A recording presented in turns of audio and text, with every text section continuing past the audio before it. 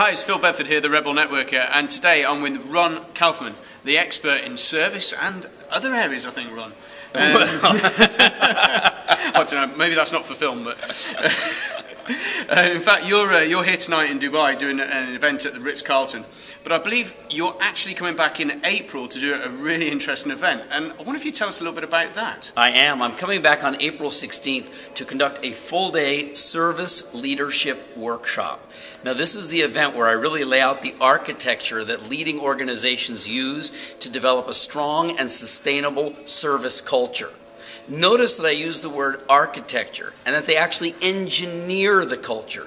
Because to the winning organizations, Singapore Airlines, Ritz Carlton Hotel, Amazon, American Express, all of those that are known for great quality service, who have that reputation, they're not doing it ad hoc, and it's not just because somebody's passionate. They actually know how to engineer the development of a culture, and I'll be revealing all of that in the full day service leadership workshop. Brilliant. So, so I mean, relationships, funnily enough, a lot of people feel they're not really good at building relationships. And other people seem to be natural at it. And, and funnily enough, at the Referral Institute, we show people how they can actually learn to That's develop right. relationships. Can, how can people learn to have a better culture for for their businesses? Well, you know, let's talk about what you do in exactly that way. You say that you can actually teach people how to build better relationships, right? You show them the technology for giving and getting referrals. Mm-hmm. Well, a lot of people would say, no, no, that's just, you know, you have to have the chemistry or you've got to know how to create rapport as if it's something magic. And you're going, no, it's not magic when you actually know how to put that together. Well, what you do in the area of referrals is what I do in the area of building service culture. I show people what are the fundamental principles that human beings need to be educated about to understand how to think about service, how to diagnose service situations, and how to choose the right actions to do that will create a great service experience. I show people what the 12 building blocks are, activity areas, to be able to construct an outstanding service culture. Things like recruitment and orientation, communication, recognition and rewards, voice of the customer capture, benchmarking. There are 12 of these areas that the winning organizations are doing right.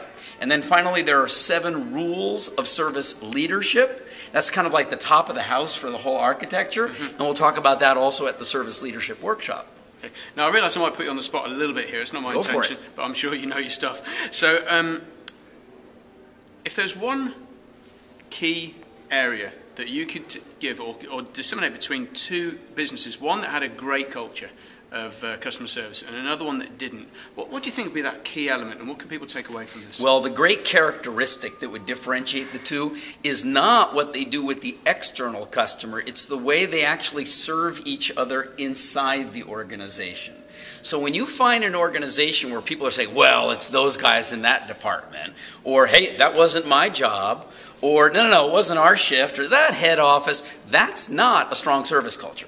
But when you find people inside an organization understand what their colleagues want, need, and value, and are taking action to create value for their colleagues, then it becomes so much easier for the colleagues to work together to create a great service experience for customers. So in effect, taking action, own, owning the responsibility for your job and the business and the client to taking action.